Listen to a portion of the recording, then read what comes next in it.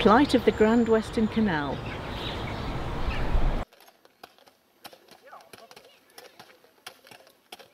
Once we had a fine canal, it had a path beside it, where narrow boat would skim the surface with a horse to guide it.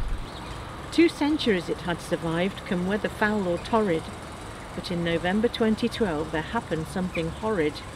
The skies went black and rain did pour for several days and nights, and mighty winds were gusting, causing many dreadful plights. The old canal got very full, a little leak was sprung, and worse it got, and bigger, much too serious to bung. The high embankment holding it, quite close to Halberton, became a place of great concern, most of all to Farmer John.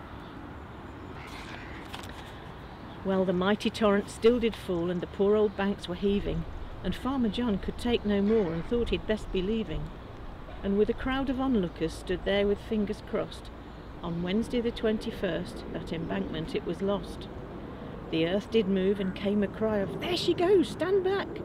As many tons of water, fish, and a couple of ducks, quack quack, came pouring down with mighty force like the Niagara Falls, with hundredweights of Devon mud and grass as I recalls. Well, it was very clever that the Grand Canal's good rangers had thought to put some sandbags in with help from friends and strangers. So luckily there's still some water back at Tivy Bowl, where once that old embankment stood there's now a dirty great hole. And either side within the dams the old canal lies bare, with its dark clay lining looking up and bits of tableware and odds and ends that had fell in, ne'er to be seen again, which goes to show you can never tell, nothing is quite that plain, Well, Halberton was national news and had its moment of fame, and they interviewed Ken Browse, but couldn't pronounce his name.